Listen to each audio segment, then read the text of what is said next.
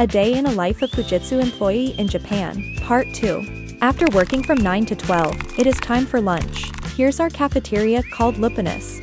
Today's menu looks really good. I decided to get mabo noodles, and a side with spring rolls. The cafeteria is very spacious. There are also cozy seats to relax.